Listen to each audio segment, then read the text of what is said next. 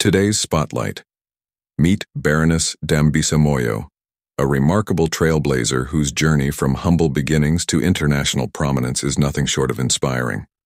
Don't forget to follow us for more.